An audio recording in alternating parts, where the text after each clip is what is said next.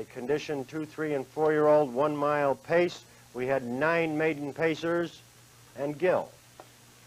City Brett by two, racing second. Sycamore good on the outside. Rainbow Beach comes on third. That's Rainbow Beach on the outside. Closing ground second now is Carnegie. Rainbow Beach with Carnegie on the outside closing.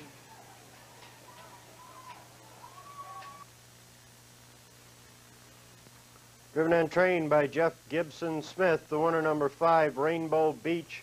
Rainbow Beach paced the mile in 201 and 4, paid 27.80, 11.60, 7.80. Carnegie was second, paying 4.80, 3.80. Sycamore Good finishing third, paid 4.40 to show. The numbers were 5, 2, and 6.